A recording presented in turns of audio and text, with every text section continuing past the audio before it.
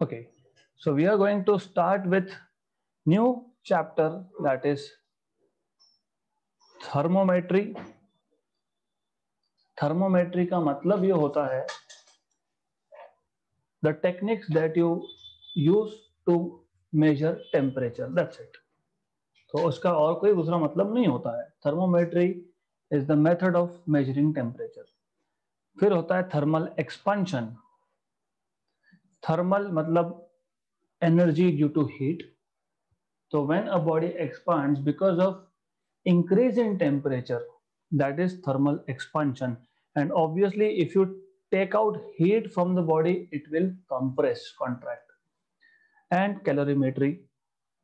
Calorimetry is experimental technique of measuring the amount of heat exchanged between two bodies. For example, मेरे पास एक water का container है, जिसको मैंने काफ़ी टाइम से ऐसा ही सराउंडिंग में रखा है तो it will be at room temperature अब मैंने एक गरम लिक्विड लिया, गरम मतलब उसका टेम्परेचर वाटर के टेम्परेचर ज़्यादा होगा। And then I pour it into the water and then I mix it तो there is heat exchange from hot liquid to water So, heat lost by liquid is equal to heat gained by water.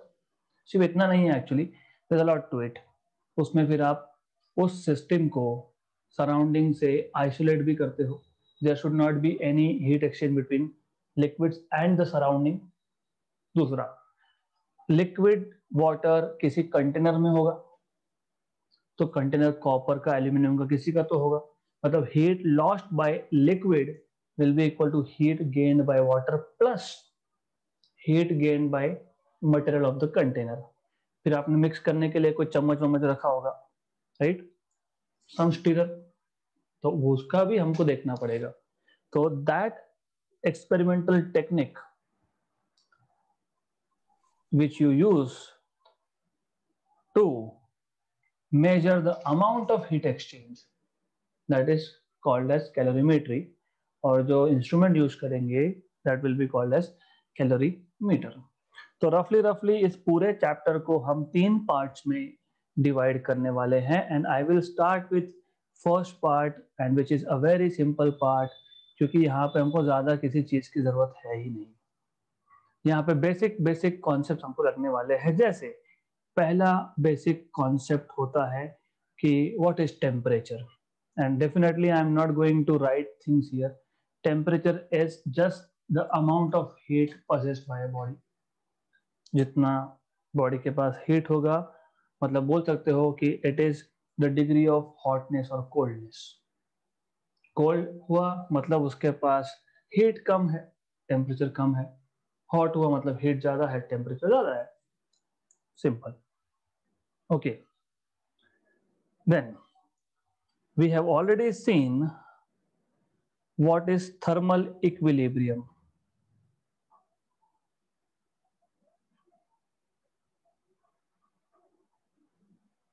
क्योंकि हम जब thermodynamic equilibrium की बात कर रहे थे तो हमने कहा था system is said to be in thermodynamic equilibrium if it is in thermal equilibrium mechanical equilibrium chemical equilibrium तो फ़िलहाल मैकेनिकल और केमिकल को साइड में रखो।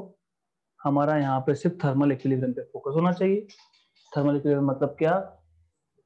किसी भी बेसिकली मतलब इतना ही होता है कि there is no heat exchange between any part of the system और अंडर द अजम्पशन कि सिस्टम जो है, ये सराउंडिंग से ऑलरेडी आइसोलेटेड है। मतलब मैं वापस बता देता हूँ।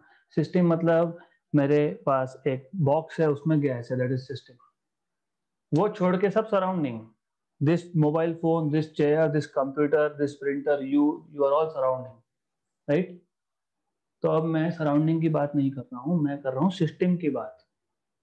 तो सिस्टम में एक पार्ट से दूसरे पार्ट में हीट फ्लो नहीं होगा। नहीं होगा मतलब टेम्परेचर सेम है, क्योंकि हीट कब फ्लो होता है? When one part of the body is at higher temperature and other is at lower temperature तो थर्मल इक्विलिब्रियम का मतलब ये है that the body as a whole और all the parts of the body of the system are at the same temperature, right? तो this is what you mean by thermal equilibrium अभी एक की जगह पे दो बॉडी भी बोल सकते हो। So two bodies are said to be in thermal equilibrium if they are at the same temperature इसका मतलब the heat content is same good right तो जब हम थर्मोमीटर की बात करेंगे टेम्परेचर की बात करेंगे थर्मल इक्विलिब्रियम की बात करेंगे, हम टेम्परेचर मेजर करेंगे। अब टेम्परेचर मेजर करोगे तो टेम्परेचर मेज़रमेंट के यूनिट्स पता होने चाहिए। और there are three different units two are practical units जो हम ह्यूमंस दो हु डोंट स्टडी साइंस उनके लिए होता है।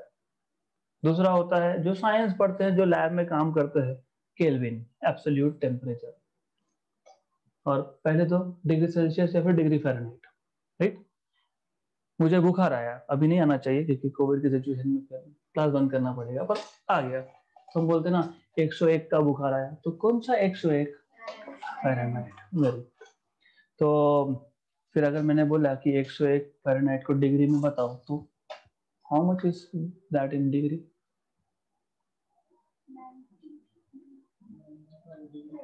nine by five good तो इसके लिए ये कन्वर्जन फैक्टर आप भूलो नहीं। भूलना नहीं है, इसके लिए कुछ बेसिक चीज़ें आपको पता होनी चाहिए। वो एक बार पता लग गया, फिर कभी नहीं भूलेंगे हम लाइफ में। ऐसा है कि ऐसा स्केल्स ऑफ़ टेम्परेचर अलग अलग स्केल यूज़ करते हैं हम लोग। तो स्केल उसके बाद symbol wimble I not going to symbol I don't care हर एक स्केल का एक लोअर फिक्स पॉइंट होता है, एक अपर फिक्स पॉइंट होता है राइट तो lower fixed point upper fixed point correct तो अभी लोअर और अपर फिक्स पॉइंट पता होगा तो टोटल नंबर ऑफ़ डिवीज़न निकाल सकते हो आप। मतलब अभी फॉर एग्ज़ाम्पल मेरे पास डिग्री सेल्सियस स्केल है। मैं टोटल डिविजन बोल देता हूँ यहाँ पे। I have degree Celsius scale right तो जो ओरिजिनल डिग्री में मेजर करने के लिए आपने डिवाइस बनाया था जिसमें आप नॉर्मली मर्क्यूरी यूज़ करते हो। डे टू डे लाइफ में जब मर्क्यूरी यूज़ करते हो मर्क्यूरी थर्मोमीटर बोलते हैं उसको। वहाँ पे ज़ीरो डिग्री से लेके हंड्रेड ही है। मतलब ये नहीं होता कि नेगेटिव में नहीं जाता जाता है नेगेटिव में। लेकिन जहाँ पे ज़रूरत थी, वहाँ पे कभी ज़ीरो से कम नहीं गया होगा, इसलिए बोल दिया हंड्रेड डिवीज़न वैसे मर्क्यूरी थर्मोमीटर का रेंज होता है minus fifty to three fifty अगर आपने अल्कोहल यूज़ कर दिया उसमें मर्क्यूरी निकाल के तो it becomes minus eighty degree to three fifty तो अल्कोहल थर्मोमीटर का रेंज ज़्यादा है थर्टी डिग्री से ज़्यादा है। तो कितने डिविजन हो गए? Hundred then Fahrenheit degree Fahrenheit इसका लोअर फिक्स पॉइंट 32 है। 32 से ही स्टार्ट करते हो आप मेजर करना। और अपर फिक्स पॉइंट 32 प्लस 180 मतलब डिविजन 180 ऐसा बोलना चाहता हूँ मैं। How much it is 212 212 third type of scale that is used in laboratories Kelvin इसका लोअर फिक्स पॉइंट है 273.15 हम रफली रफली 273 बोलते हैं उसको। और इसका अपर फिक्स पॉइंट है 373.15 इसमें भी 100 डिविजन्स है।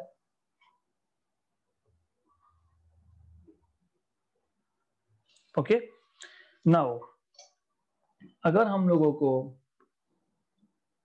एक स्केल से दूसरे स्केल में जाना है तो एक सिंपल सा फॉर्मूला बनता है। वो होता है कि अगर डिग्री सेल्सियस है तो C minus lower fix point lower fixed point upon normally divisions होता है यहाँ पे। Total divisions in that given scale यहाँ पे भी फिर Fahrenheit minus lower fix point upon total divisions 180 और केल्विन में भी फिर minus lower fix point upon divisions तो आप अभी ये यूज़ करके किसी भी एक सिस्टम से दूसरे सिस्टम में जा सकते हो। तो as he said nine by five तो अगर मैं इस पर फोकस करूँगा तो मुझे मिलेगा c by hundred equal to F minus thirty two by one eighty five the 9 the.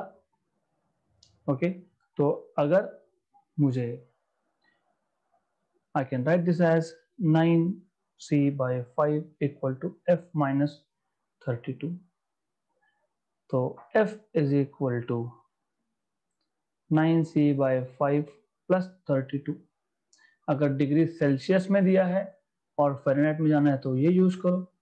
Simple है।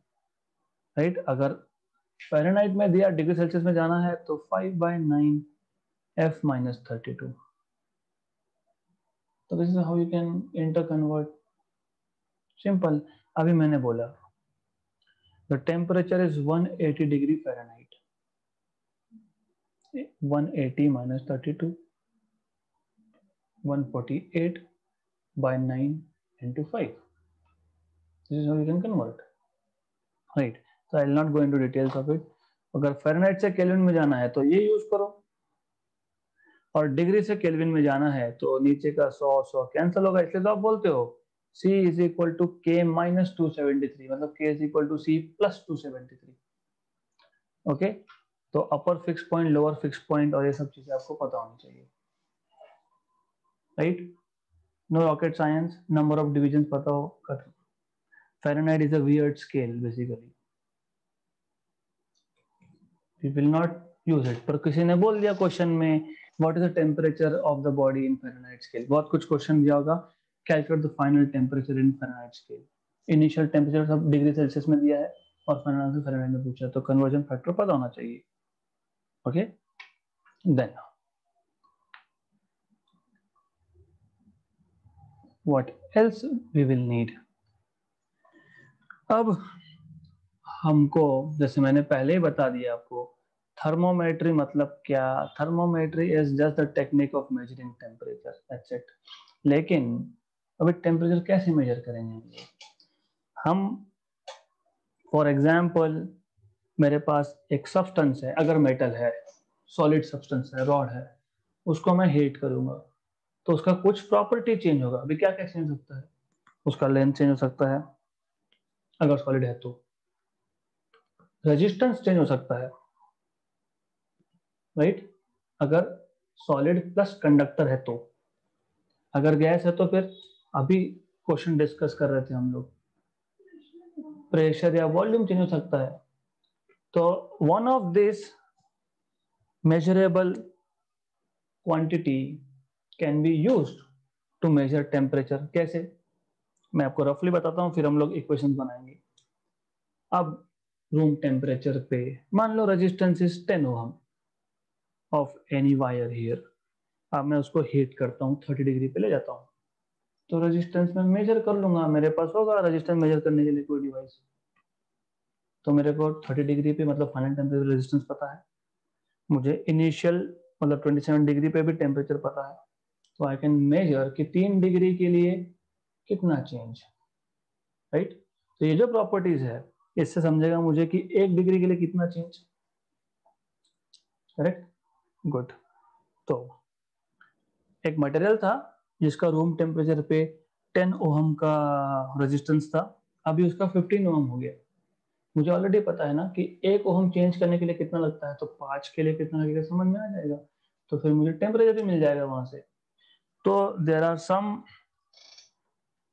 parameters that you can use अब इन जनरल उसको हम लोग बोलते हैं थर्मोमेट्रिक प्रॉपर्टी कुछ नहीं है, वो फ़िज़िकल वेरिएबल है वो। लेकिन थर्मोमेट्री में यूज़ कर ले, कर रहे हैं, इसलिए बोलते हैं थर्मोमेट्रिक प्रॉपर्टी बिकॉज़ प्रॉपर्टी मतलब it will change with temperature now अभी दो इक्वेशंस है। I explain you one of this और आप दूसरा खुद कर लोगे। तो ऐसा करेंगे, हम बोलेंगे इनकी बुक की लैंग्वेज के हिसाब से कि ज़ीरो डिग्री पे वो जो थर्मोमेट्रिक प्रॉपर्टी थी, वो ज़ीरो थी। तो मतलब टेम्परेचर और थर्मोमेट्रिक प्रॉपर्टी मैं थर्मोमेट्रिक प्रॉपर्टी क्यों बोल रहा हूँ? क्योंकि ये वॉल्यूम प्रेशर रेजिस्टेंस लेंथ कुछ भी हो सकता है तो जनरल फिर देन 100 डिग्री सेल्सियस पे इसको मैं बोल दूँगा x हंड्रेड फिर सम टी डिग्री सेल्सियस पे मैं इसको बोल दूँगा X T normally variation in the thermometric property is linear. What is linear variation? What do you mean by linear variation? ऐसा बुक में लिखा होता लिखा होगा यहाँ पे भी हाँ तो यहाँ पे भी बोला है कि if the thermometric property at 0 degree 100 degree and t degree is x0 अच्छा इन्होंने x0 बोला तो x0 मान लेते हैं x0 and x100 and xt then the linear variation can be calculated as what is linear variation directly proportional x raised to 1 what is what what does she mean by x raised to 1 का क्या मतलब होता है straight line very good यही तो चाहिए this is what you need to understand कि linear variation की जब बात करते हो तो some quantity y depends on x and it changes as straight line, right? अब इसको बोलते हो लीनियर वेरिएशन अब सिर्फ़ मैं क्या करूँगा यहाँ पे? मैं वो x को जो है, x पे रखूँगा क्योंकि मैंने उसको x ही नाम दिया है। और y पे तो मैं टेम्परेचर मेजर कर रहा हूँ तो मैं टेम्परेचर लिख दूँगा यहाँ पे। तो विथ टेम्परेचर वो एक्स वेरी हो रहा है, वो एक्स प्रेशर वॉल्यूम लेंथ कुछ भी हो सकता है। राइट तो ये जो पॉइंट है, जिसको आप नॉर्मल लैंग्वेज में ओरिजिन बोलते हो।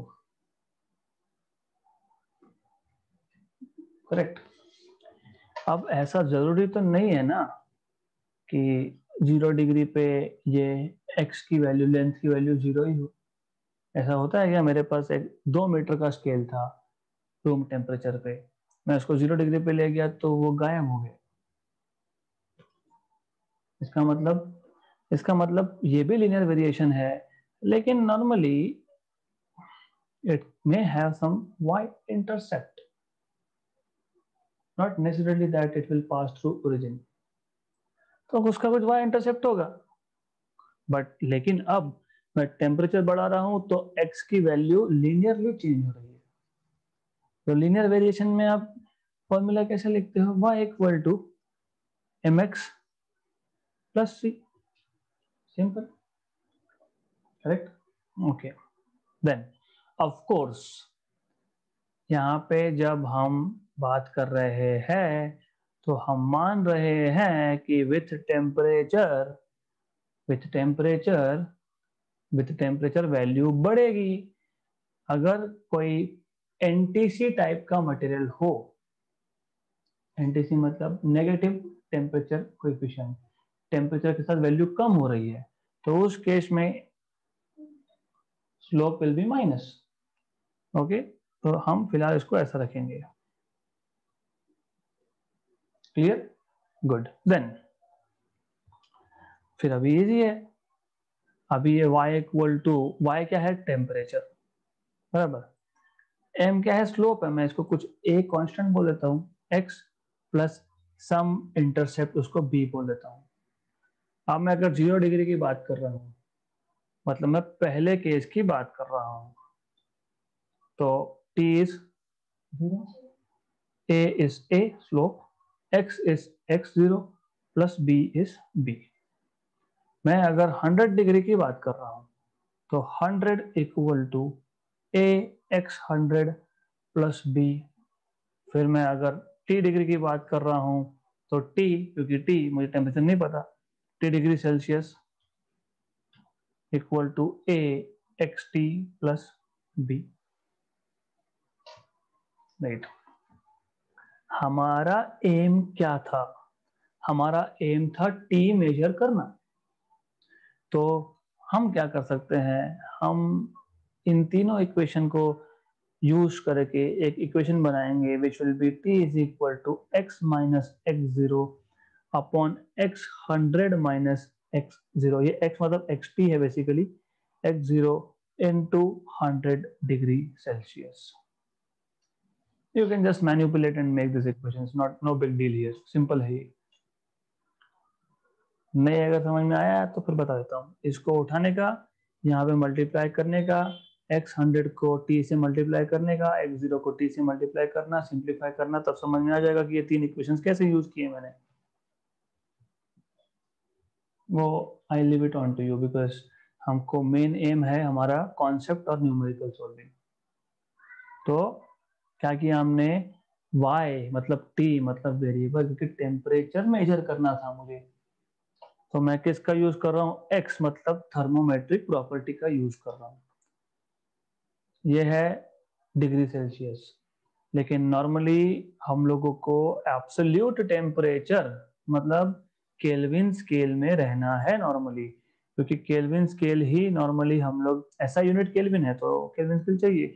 तो सिमिलरली केल्विन के लिए आप प्रूव कर सकते हो that temperature at of some some higher temperature 273 अगर प्रिसाइज करना चाहो तो 1.5 x upon X T Kelvin तो ये हो गया फॉर्मूला राइट सिंपल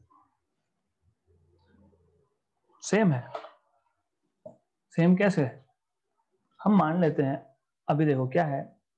स्लोप्स पता है आपको? स्लोप्स स्लोप पता है अच्छे से आपको? You know slope very well of a straight line how do find out slope of a given line नहीं, मुझे थोड़ा और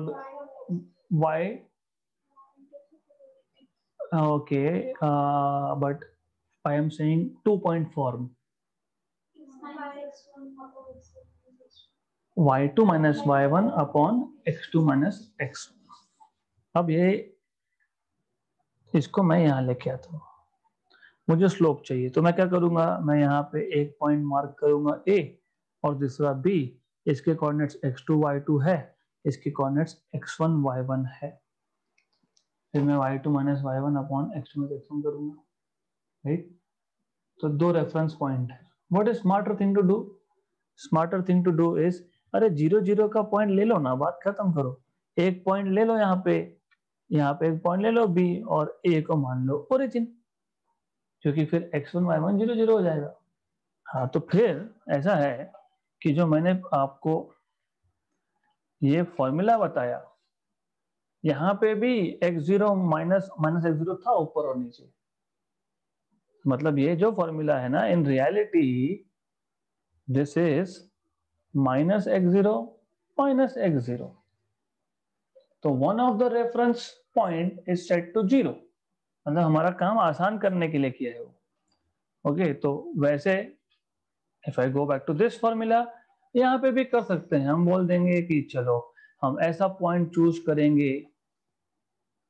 उस पॉइंट पे वो थर्मोमेट्रिक प्रॉपर्टी ज़ीरो फिर उस केस में लेंथ तो नहीं यूज़ कर सकते आप बट ऐसा बाकी कुछ प्रॉपर्टी देख लेंगे हम लोग ज़ीरो ओके तो normally this is how you end up here actually यहाँ पे माइनस है but we are taking thermometric property to be zero at zero degree Celsius good then our thermometers I will not go in detail to thermometers सिर्फ़ मैं ऊपर से बताऊँगा देर are liquid thermometers जैसे मैंने ऑलरेडी बताया. Alcohol and mercury there are gas thermometers gas में दो type constant pressure thermometer constant volume thermometer constant temperature नहीं बोलना टेम्परेचर मेजर करना है। मैं तो कांस्टेंट टेम्परेचर थर्मोमीटर फिर क्या मेजर करोगे?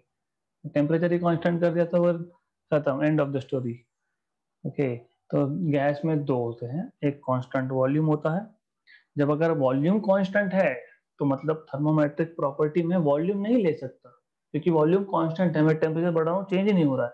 तो फिर क्या लेंगे? प्रेशर फिर क्या चेंज होगा? मैं आपको बता देता हूँ लिख के, क्योंकि it is simple so when you talk about thermometers thermometers I will skip this part क्योंकि यहाँ पे नॉर्मली आप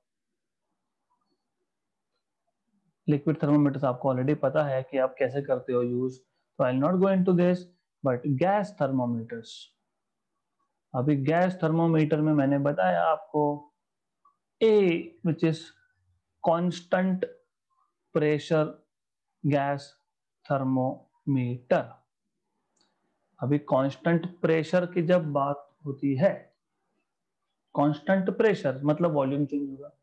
फिर वो जो फॉर्मूला आपने लिखा था, ये हाँ तो फिर वही वही फॉर्मूला यूज़ होगा। क्या यूज़ होगा? देखो, t equal to X T minus X zero X hundred minus X zero हाँ तो फिर यहाँ क्या लिखेंगे हम लोग? हम यहाँ बोलेंगे t is to V T minus V zero मतलब volume at higher temperature minus volume at zero degree Celsius upon volume at hundred degree minus volume at zero into hundred खत्म, वही फॉर्मूला है। या फिर अगर केल्विन स्केल में करना है तो T in Kelvin is 273.15 volume at some higher temp, volume initial basically upon some higher temperature वही है नो डिफरेंस हियर अब ऑब्वियसली ऑब्वियसली जब आप कांस्टेंट वॉल्यूम थर्मोमीटर की बात करोगे तो वॉल्यूम भी कांस्टेंट टेम्परेचर तो कांस्टेंट हो ही नहीं सकता क्योंकि वही तो बढ़ा रहे थे हम।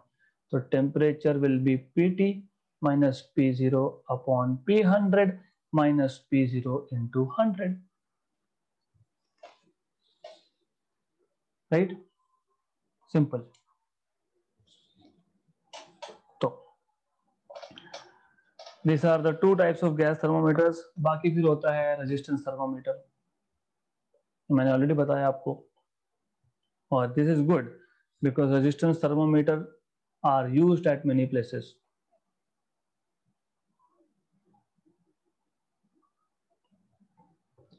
तो यहाँ भी सेम है, T is equal to R T zero upon R hundred minus R zero into hundred यह आ गया आपका resistance thermometer good thermoelectric thermometer is of no importance to us तो हम लोग वो देखेंगे नहीं. Then the next thing that we will need, and it is important and good so that is thermal expansion. इसका कुछ पार्ट हमने पहले भी किया है, लेकिन still I go into detail again thermal expansion तो as the name there is due to thermal energy, right? तो उसमें तीन टाइप के एक्सपांशन हो सकते हैं. फ़र्स्ट इज़ लीनियर मतलब अगर मेरे पास एक टेन मीटर का रॉड है और यहाँ पे कोई बड़बड़ कर रहा है, मुझे मारना है, टेन मीटर नहीं, टेन फीट या टेन सेंटीमीटर बोलो, और मुझे मारना है, वहाँ तक स्केल नहीं पहुँच रही है तो मैं उसको हीट करूँगा, उसका लेंथ बढ़ेगा। शांत बैठो। राइट वैसे इतना एक्सपांशन नहीं होता, हम देखेंगे, क्योंकि जो एक्सपांशन कोएफिशिएंट होता है, वो 10 to the power minus five में आता है normally I will not go in too much details सिर्फ़ एक्सपेंशन क्यों होगा? और नॉर्मली हम लोग यहाँ पे जब थर्मल एक्सपेंशन की बात कर रहे हैं तो सॉलिड्स की बात कर रहे हैं। मैंने बार बार बताया है कि सॉलिड्स में बेसिकली पार्टिकल्स या फिर इंस्टेड ऑफ़ सिंग पार्टिकल से एटम्स क्योंकि solids are mostly atomic substances mostly unlike gases unlike liquids क्योंकि लिक्विड्स और गैसेज में दे आर मॉलिक्यूलर तो होता क्या है कि एटम में, और अगर आप कंडक्टर्स की बात कर रहे हो मेटल्स की बात कर रहे हो तो रूम टेम्परेचर पे by the way before I go to that point how many electrons does good conductor possess in its valence shell?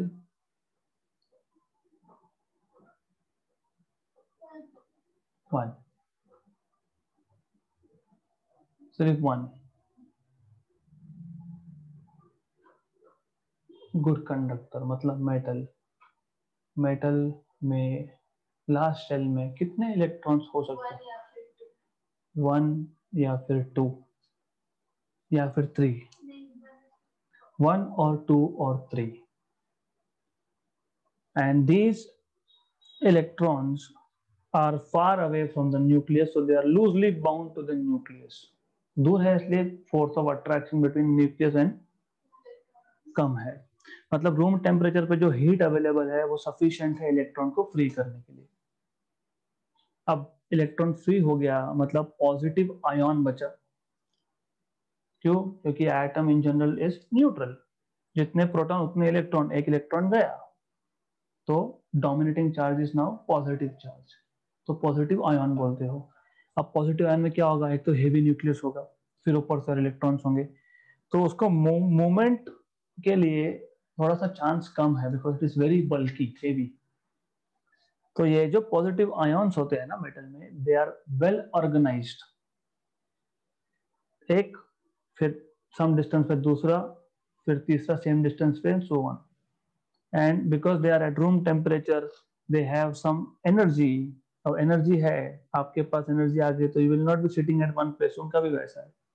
Energy they start vibrating उसको हीट करोगे हीट करोगे तो they will vibrate with more amplitude पहले कम amplitude था, अभी ज़्यादा है। This leads to expansion right तो अब कितना एक्सपांशन हुआ? If I increase the temperature expansion कितना हुआ? तो कितना लेंथ चेंज हुआ यहाँ पे? तो इसको दो तरीके से बोला जाता है। Hi fi books fractional change in length is proportional to increase in temperature फिर वो बोलेंगे delta L by L is equal to some constant of proportionality into delta T where this constant is called as coefficient of linear expansion simple books change in length is proportional to original length and increase in temperature है वही, ये L को मैं यहाँ पे shift कर दूँगा तो वापस आ गया। तो ये फ्रैक्शनल चेंज मतलब change in length upon original length, ऐसा उसका मतलब होता है। और बाय द वे ये होता है टेंसाइल स्ट्रेन। फिर ये हम लोग इलास्टिसिटी में किया भी था, हमें thermal strain thermal stress good तो कुछ नहीं है इजी है। फिर अल्फ़ा क्या बोलोगे आप? Alpha is change in length और increase in length per unit original length per degree rise in temperature. Unit क्या होगा इसका?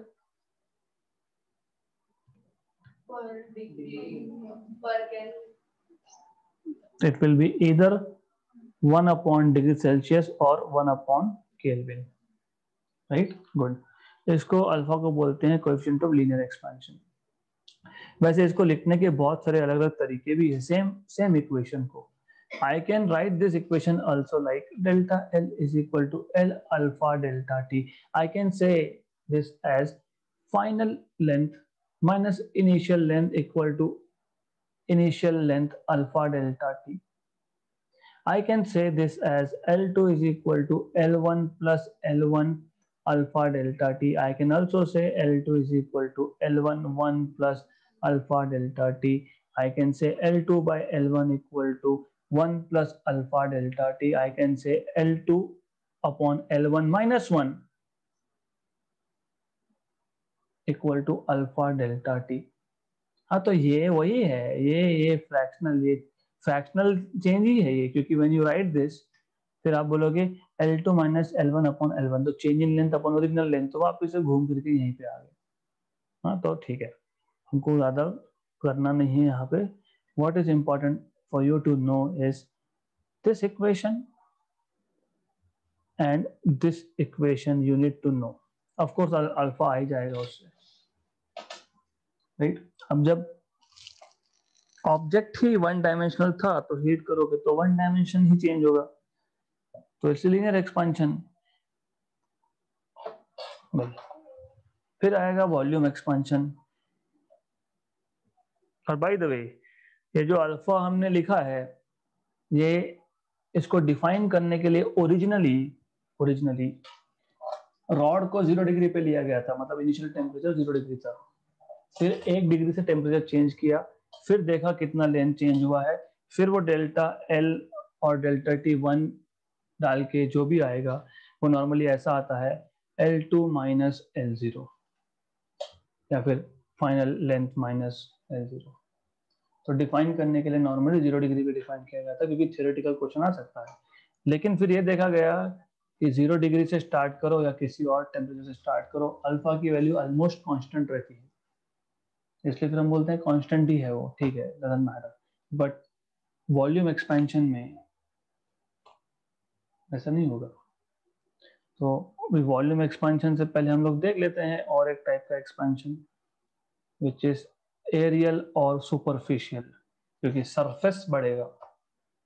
तो सुपरफिशियल एक्सपेंशन में मैं ज़्यादा आपको बताऊँगा नहीं, यहाँ पे इट इज़ सिंपल थिंग तो you will say delta A by A is equal to beta delta T फिर वही A two is equal to A one one plus beta delta T then then you have what you have is volume expansion now volume can also expand or it does expand when you increase the temperature फिर आप वही बोलते हो फिर delta V by V is equal to gamma delta T and then uh, otherwise v2 is equal to v1 1 plus gamma delta t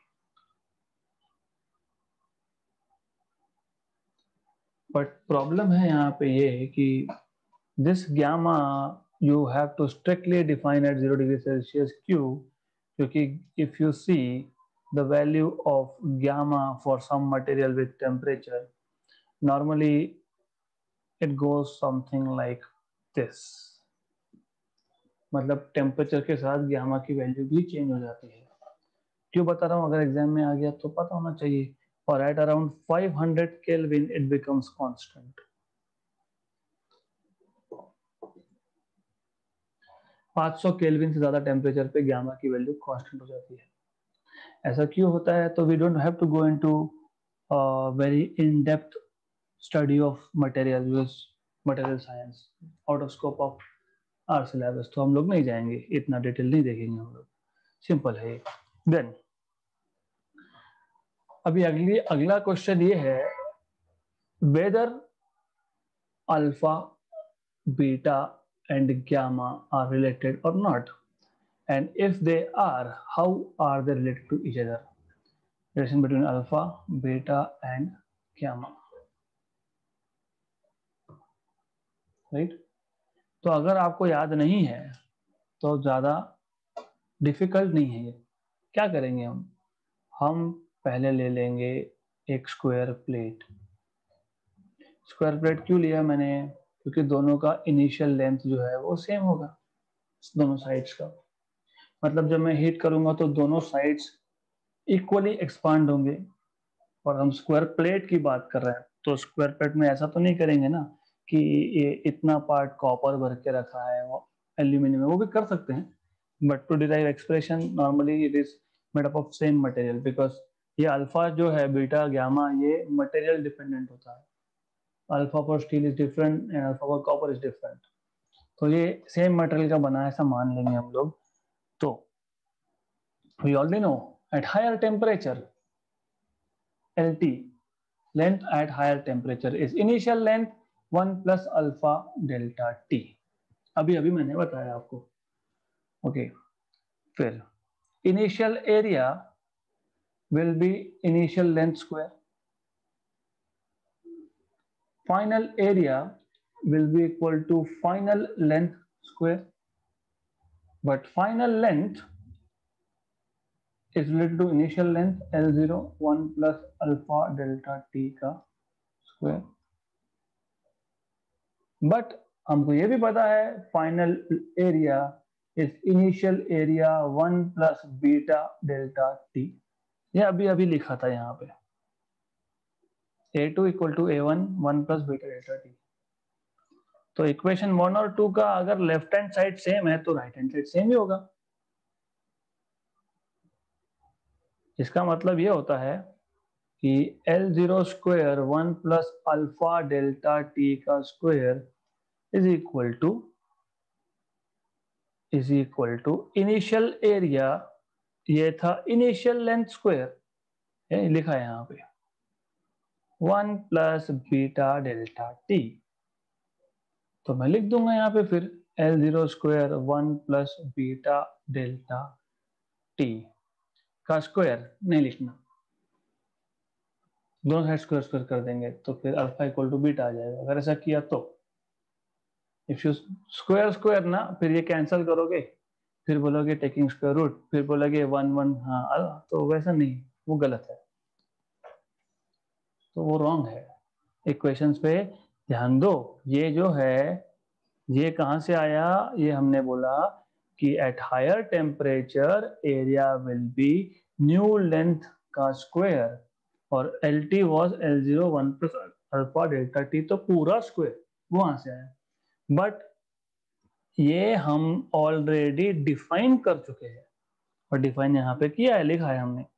तो यहाँ पे one plus beta delta T का स्क्वायर नहीं है। स्क्वायर नहीं है। वैसे आपको इतना नहीं आएगा, लेकिन मैं बता रहा हूँ theory because it is important for you to know आपको सिर्फ़ अल्फ़ा और बीटा का रिलेशन चाहिए, खत्म।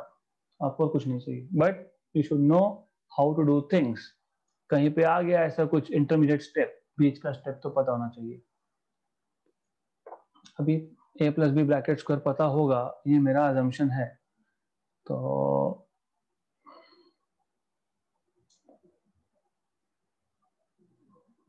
ओके नाउ दोनों साइड पे वन वन पॉजिटिव तो पहले उड़ा दिया इसको। And as I told you alpha की वैल्यू टेन पर माइनस फाइव में आती है। तो यहाँ पे टेन पर माइनस फाइव यहाँ पे टेन पर माइनस फाइव का स्क्वायर मतलब टेन पर माइनस टेन तो जब मेरे पास एक ओशन है और एक पानी का बूंद है तो पानी का बूंद निग्लेक्ट होता है है ना? तो यही है ना, फिर टेन पावर माइनस टेन और यहाँ पे टेन पावर माइनस फाइव पाँच ऑर्डर का डिफरेंस एक लाख का डिफरेंस तो मैं सेफली इसको निग्लेक्ट कर सकता हूँ। तो two alpha delta T is equal to beta delta T cancel cancel alpha is equal to beta by two अब। अब हमको बीटा और ग्यामा में रिलेशन चाहिए। बराबर? लेकिन बीटा और ग्यामा में रिलेशन निकालने से इजी वे है अल्फ़ा और ग्यामा में रिलेशन निकालना। हम्म, फिर अगर a इक्वल टू बी और b इक्वल टू सी तो a इक्वल टू सी मतलब alpha is equal to beta by two but alpha is also gamma by three तो हो गया ये relation ready strictly for same substance everywhere strictly if you have two sides as same dimensions और जब three में बात करते हो वॉल्यूम एक्सपेंशन की बात करते हो तो क्यूब लेते हो वहाँ पे। क्यूब का भी हर एक साइड सेम लेंथ का होता है। right so i hope there is no doubts in this particular topic as of now assumption a lot of things work on assumption here so next हमको देखना है how does density vary with temperature variation of density with temperature चलो। तो how does density vary with temperature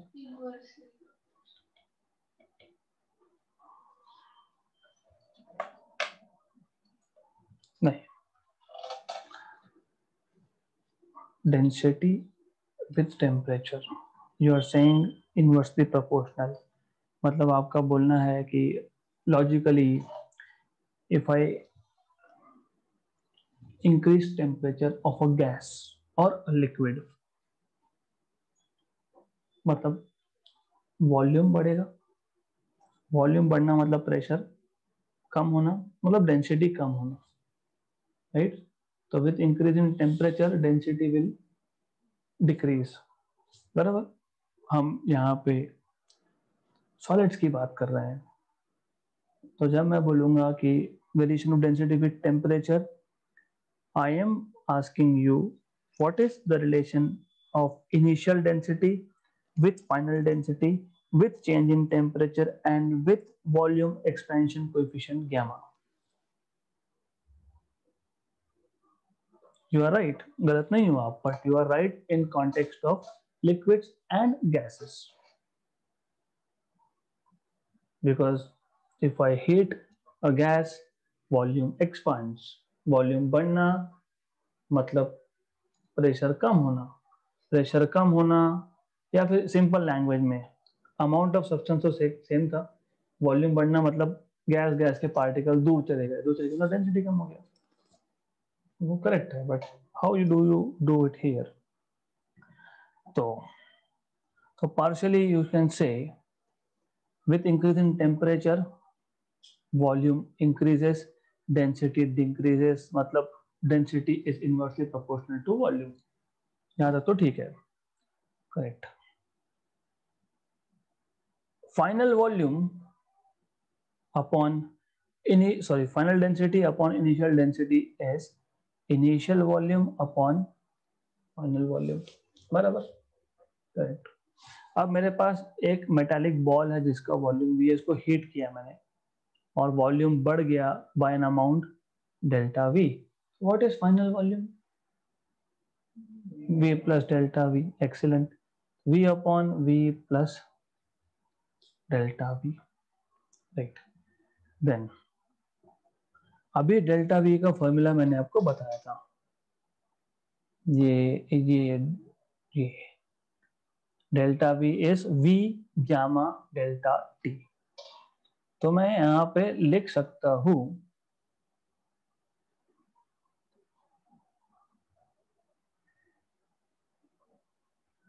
I can safely write here using this equation gamma uh, rho dash upon rho equal to v upon v plus delta v which is v gamma delta t मतलब मैं इसमें से v common निकाल के cancel out कर दूँगा। बराबर v v गया। तो one plus gamma delta T raise to minus one binomial expansion A plus B raise to N क्योंकि ये नीचे प्लस था, ऊपर जाके हाँ तो मतलब ये सिर्फ़ यहाँ पे मल्टीप्लाई कर दोगे। फिर आप बोलोगे कि gamma raise to minus two gamma raise to minus three ये बहुत छोटे छोटे होते हैं तो निग्लेक्टिंग हायर ऑर्डर टर्म्स फिर आप बोलोगे, ये रो को भी मल्टीप्लाई कर दिया वहाँ पे। One minus gamma delta T तो यू हैव प्रूव्ड क्या प्रूव किया हमने? विथ टेम्परेचर डेंसिटी कम हो रहा है। कैसे प्रूव किया? रो ये था ओरिजिनल डेंसिटी उसमें से कुछ माइनस हो रहा है। ओरिजिनल डेंसिटी में से कुछ माइनस होगा तो डेंसिटी कम हो रही है। तो that is why it is important you to know how to do things तो we have relation of density also now और ऐसा ही रेजिस्टेंसेस में करना है आपको। तो इलेक्ट्रिकल कंडक्टिविटी मतलब करंट इलेक्ट्रिसिटी का भी काम यहीं पे हो रहा है अपना। That is why I really sometimes go into detailed theory because as I am telling you, बार बार नीट में मैथमेटिकल क्वेश्चंस कम आते हैं, कम मतलब कंपेयर टू जेडब्ल्यू है ना? और यहाँ पे थियरी क्वेश्चन ज़्यादा आते हैं मतलब कंपेयर टू जेडब्ल्यू तो आपको थियरी अच्छे से पता होना चाहिए। थर्मल एक्सपेंशन इन लिक्विड्स वो सॉलिड्स का था। अब ये लिक्विड्स की बात होगी यहाँ पे प्रॉब्लम ऐसा है। Liquids do not have definite shape तो मुझे अगर लिक्विड को हीट करना है तो उसको ऐसा मैं एयर में रख के हीट नहीं कर सकता। मतलब मुझे उसको पहले किसी सॉलिड कंटेनर में डालना पड़ेगा। अभी इश्यू ऐसा है, आपने नोटिस किया होगा कि जब आप एक बर्तन में लिक्विड को डालते हो और हम उसको हीट करते हैं तो हम क्या एक्सपेक्ट करते हैं? इट शुड एक्सपांड लेकिन कम हो जाता है वो।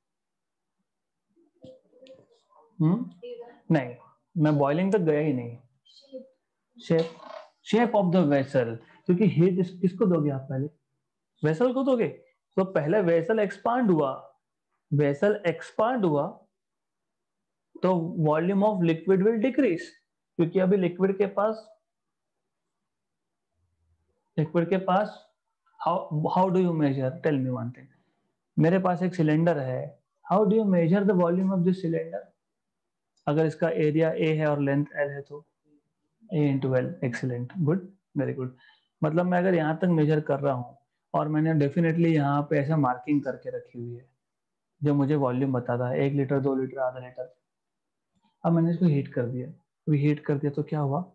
हीट किया तो पहले कौन एक्सपांड हुआ? वेसल पहले तो हीट वेसल के पास जाएगा ना, क्योंकि बर्नर तो आपने वेसल को लगा के रखा है। तो क्या होगा? फिर ऐसा होगा, क्योंकि पहले वेसल एक्सपैंड हुआ। अभी क्वांटिटी ऑफ़ वाटर तो लिक्विड तो सेम था ना।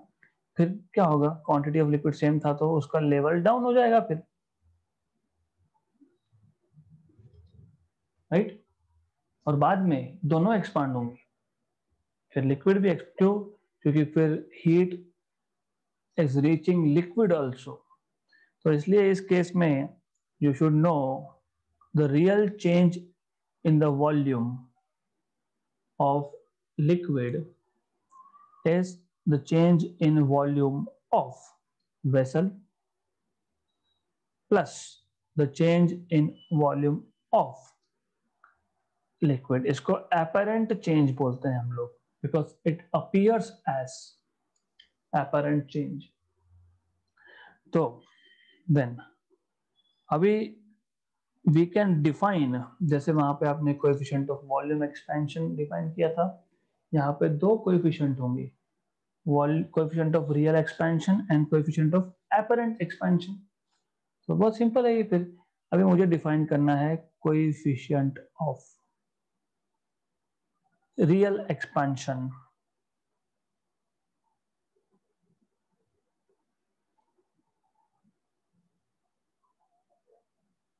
What was coefficient of expansion by the way? Definition delta V by tick, tick, tick.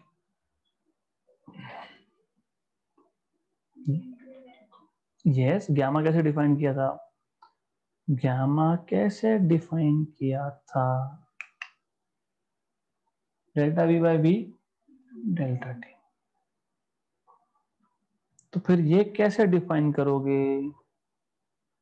कैसे डिफाइन क्या बोला है मैंने? रियल एक्सपेंशन तो फिर मैं क्या बोलूँगा? Delta V real upon V delta T ये हो गया आपका कोएफिशिएंट ऑफ़ रियल एक्सपेंशन फिर अभी जब कोएफिशिएंट ऑफ़ एपरेंट की बात करेंगे coefficient of apparent apparent expansion मतलब लिक्विड का एक्सपेंशन है और डेल्टा भी मतलब वेसल का एक्सपेंशन है। दोनों को मिला के रियल एक्सपेंशन है। नॉर्मली हमारा फोकस कहाँ पे होता है? लिक्विड पे। बट इट अपियर्स एक्चुअल में तो हीट करने के बाद वॉल्यूम बढ़ना चाहिए। इट अपियर्स के कम हो रहा है। फिर बाद में बढ़। इसलिए इसको बोलते हैं apparent because it appears but in reality वैसा नहीं है। कंटेनर एक्सपांड हुआ तो उस पर जो मार्किंग थे तो पानी नीचे गया, लेकिन रियलिटी में रियलिटी में वैसा नहीं हुआ है ना। वो तो सिर्फ़ कंटेनर का शेप चेंज होने की वजह से हुआ है वो। तो इसलिए ऑफ़ रियल और एपरेंट एक्सपेंशन में फ़र्क समझना ज़रूरी है। एपरेंट में आप बोलोगे डेल्टा वी एपरेंट एपरेंट मतलब हम लोग यहाँ पे लिक्विड का जो एक्सपेंशन है उसकी बात कर रहे हैं। हो गया। दिस इज़ इट डन नहीं है सिंपल है। तो you will realise this when solving numericals अब न्यूमेरिकल्स करेंगे तो आपको समझेगा कि why it is important and I'll try to include one. इसमें ज़्यादा क्वेश्चंस नहीं आए नीट पे तो कल तक खत्म हो जाएगा अपना ये। मतलब टेस्ट में सारा ही है। ओके गुड देन अभी ये कुछ बोल के रखा है ऐसा effect of temperature temperature on upthrust तो ये I think you should see क्योंकि इजी है ये। I am not going I am not going to take it अभी एक आखिरी चीज़ जो हमारी रह गई मतलब आखिरी मतलब थर्मल एक्सपेंशन ऑफ़ सॉलिड हो गया थर्मल एक्सपेंशन ऑफ़ लिक्विड हो गया थर्मल एक्सपेंशन ऑफ़ गैस की बात कर रहा हूँ, ये थर्मल एक्सपेंशन में आखिरी। तो थर्मल एक्सपेंशन ऑफ़ गैस अभी ऐसा है सॉलिड्स में या लेंथ चेंज होगा या एरिया चेंज होगा या वॉल्यूम चेंज होगा। लिक्विड्स में लिक्विड भी एक्सपैंड होगा और जो कंटेनर है वो भी एक्सपैंड होगा। Right right. लेकिन लिक्विड में you can measure volume with the help of scale यहाँ नहीं कर सकते। और यहाँ पे गैस में दो चीज़ें हैं। एक एक, क्या करोगे? कांस्टेंट प्रेशर पे यहाँ होता ना गलत एक्सपेंशन बोल रहा हूँ फिर कांस्टेंट वॉल्यूम भी बोल रहे हो साथ में हाँ तो coefficient of volume expansion of gas मतलब the coefficient of volume expansion of a given mass of gas at constant pressure वो इजी है तो हम केसेस देख लेते हैं एक coefficient of volume expansion the coefficient of volume expansion of gas. इसको अल्फ़ा से डिनोट करते हैं। So this is nothing but final volume minus initial volume upon initial volume into change और इंक्रीज इन टेम्परेचर मतलब वही है delta V by V delta T दूसरा है coefficient of of pressure expansion of pressure expansion of gas जिसको हम लोग बोलते हैं बीटा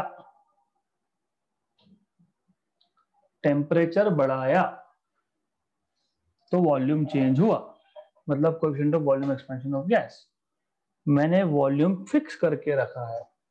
इमेजिन मैं इसलिए बोलता हूँ फिजिक्स को तुम समझोगे कब? जब तुम उसको कनेक्ट करोगे सिचुएशन के साथ। बॉक्स में गैस है गैस के बहुत सारे मॉलिक्यूल्स है। मैंने हीट किया और ऊपर का जो पिस्टन था मूवेबल था मतलब जो भी एनर्जी हमने दी है, वो उससे एक्सपेंशन प्रोड्यूस हुआ है। अब मैंने ऊपर के पिस्टन को फिक्स कर दिया इट इज़ नॉट मूविंग और मैं अभी उसको हीट दे ही रहा हूँ। तो हीट लेके हीट कहाँ गया? एनर्जी है। कहाँ गई? इंटर एनर्जी बढ़ेगा मतलब कि हर एक काइनेटिक एनर्जी बढ़ेगा। क्योंकि मॉलिक्यूल ने ले लिया, फिर उसका वेलोसिटी बढ़ेगा वेलोसिटी बढ़ेगा मतलब नंबर ऑफ़ कोलिजन्स बढ़ेंगे। क्योंकि कहाँ जाएगा? वॉल्स पे हिट करेगा। नंबर ऑफ़ कोलिजन्स बढ़ेंगे मतलब प्रेशर बढ़ेगा। मोमेंटम ट्रांसफ़र इज़ मोर मतलब बेसिकली प्रेशर बढ़ेगा। उसको बोलते हैं प्रेशर एक्सपांशन तो ज़रूरी नहीं है एक्सपांशन मतलब साइज़ ही बढ़ेगा। प्रेशर भी बढ़ रहा है। प्रेशर की वैल्यू बढ़ रही है तो प्रेशर एक्सपेंशन तो सिंपल है। Beta is equal to PT minus initial pressure. Of course initial pressure और इनिशियल वॉल्यूम की बात हो रही है नीचे डिनोमिनेटर में, डेल्टा टी।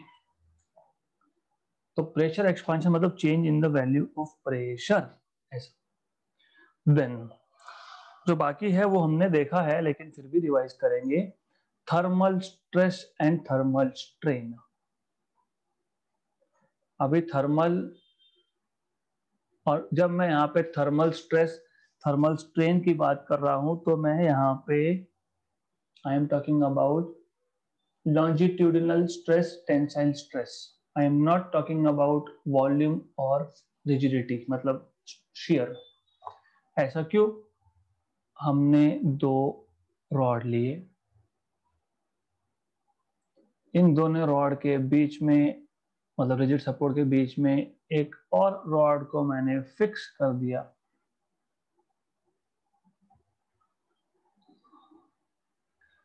अब I am hitting this rod right जब मैं हिट करूँगा तो एक्सपांड होगा। एक्सपांड होगा मतलब वर्टिकल सपोर्ट्स पे फोर्स लगेगा। फोर्स पर यूनिट एरिया स्ट्रेस लगेगा। स्ट्रेस क्यों आया थर्मल एनर्जी की वजह से। तो इसको क्या बोलेंगे? थर्मल स्ट्रेस बोलेंगे। और लेंथ चेंज हो रहा है ना तो जब लेंथ चेंज इन्वॉल्व होता है तो यंग मॉडल्स की बात हुई है तो फिर हम बोलेंगे, ठीक है यंग मॉडल्स की बात कर लेते हैं यहाँ पे। Y is equal to thermal हाँ thermal stress upon strain thermal thermal तो थर्मल स्ट्रेन आपको ऑलरेडी पता है? पता है ना थर्मल स्ट्रेन थर्मल स्ट्रेन नहीं पता? क्या है बताओ तो? हाँ लेकिन in terms of expansion coefficient बोल रहा हूँ। In terms of temperature change बोल रहा हूँ मैं।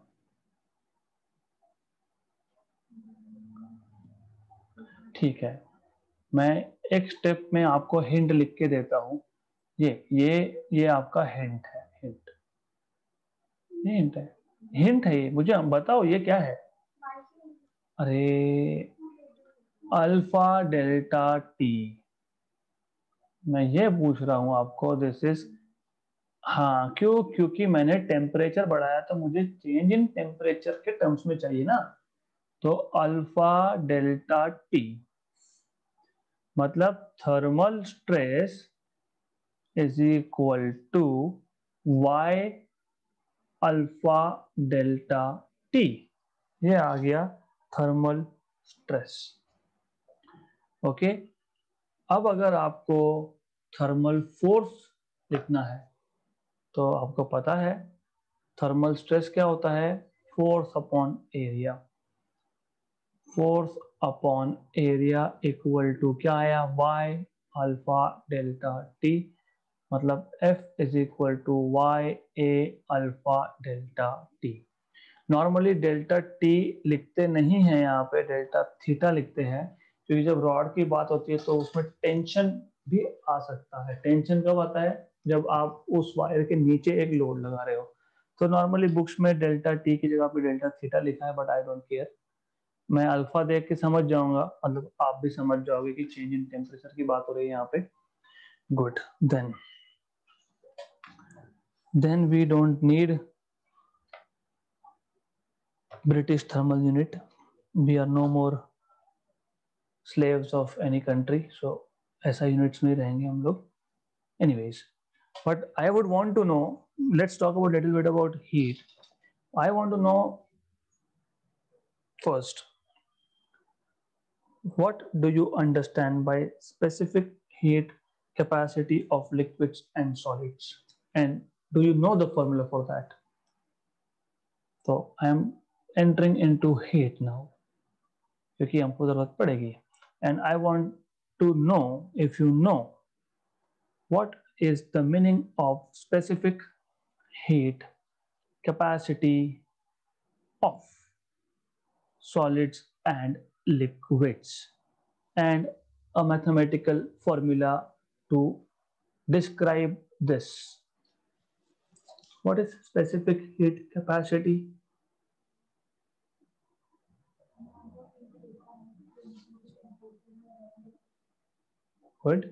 थोड़ा सा थोड़ा सा correction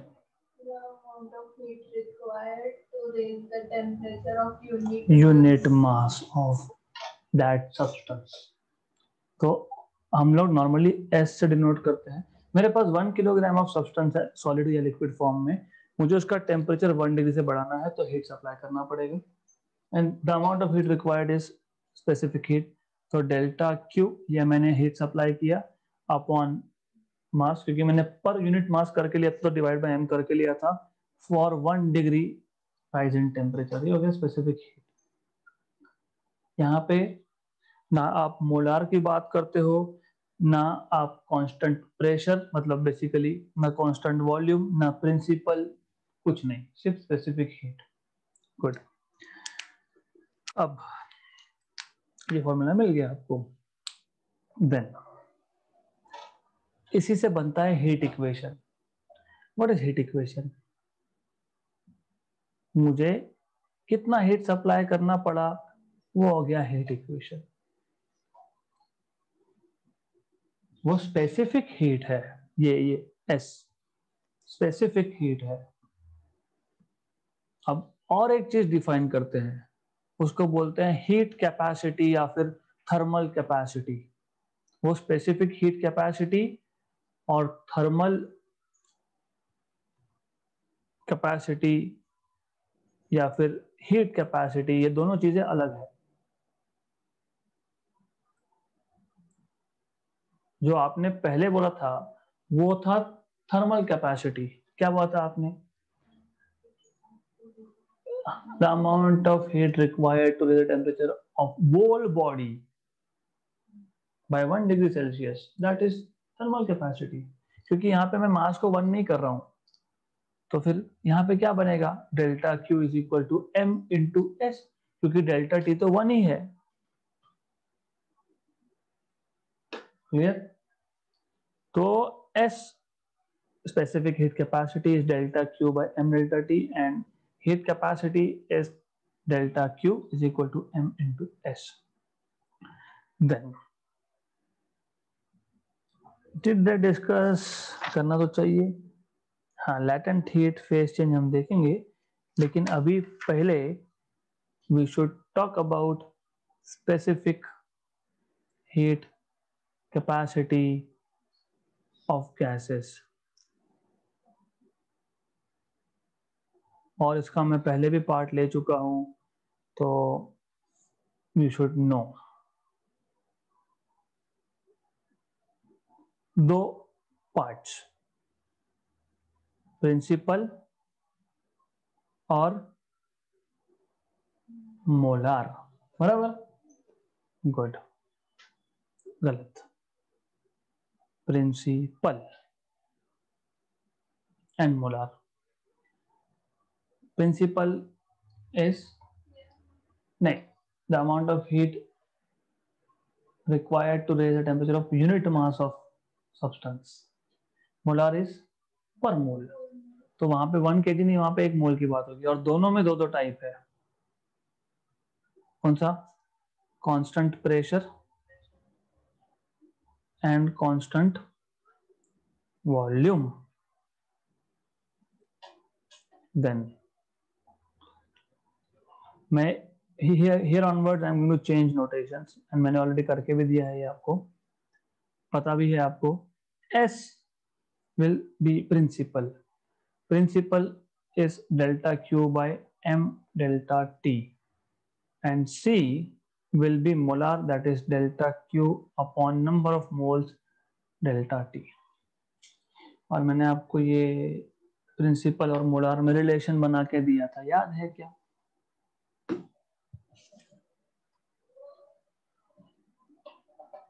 That is why I go the other way round क्योंकि ये इंपॉर्टेंट चीज़ें रिपीट होती है। ये चैप्टर दो दिन का भी काम नहीं है। अभी थोड़े टाइम में मतलब कल, पहले पंद्रह मिनट, दस मिनट में कल थेरी खत्म और उसके एक घंटे में न्यूमेरिकल्स खत्म। Done but it's because I want you to know what is अभी तो लैटेंट हीट ऑफ़ वेपराइजेशन और लैटेंट हीट पे बात ही नहीं कर रहे हैं लोग। क्या था? चलो, ठीक है, कोई बात नहीं। प्रिंसिपल इनटू मॉलिकुलर वेट तो ये आपको पता होना चाहिए नंबर ऑफ़ मोल्स क्या होता है? मास अपॉन मॉलिकुलर वेट मतलब वेट बेसिकली ये m को मैं ऊपर ले जाऊँगा तो आ जाएगा m delta q m delta T ये आपने क्या डिफाइन किया? प्रिंसिपल तो molar is molecular weight into principal specific heat ये आपको पता होना चाहिए all right so since I told you that we will not extend beyond 8.15 i will stop but tomorrow you need to come prepared with all this and i will just tell you what is latent heat and then few more things and then we will start with numericals